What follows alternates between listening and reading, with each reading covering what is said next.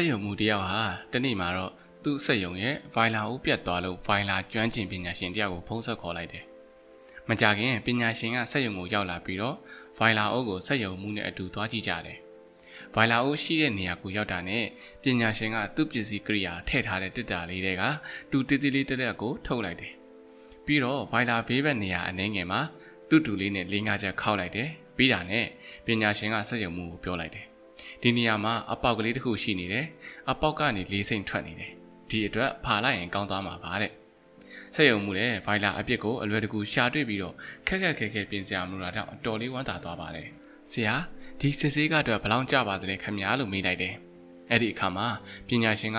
ဒေါ်လာ900ကျပါတယ်ခင်ဗျားလို့ပြန်ပြောလိုက်တယ်။ဆက်ယုံမှုလည်းအတော်လေးအံ့အားသင့်ပြီးတော့ဒေါသလည်းထွက်သွားတယ်။ဒါကြောင့်သူကဆရာရဲ့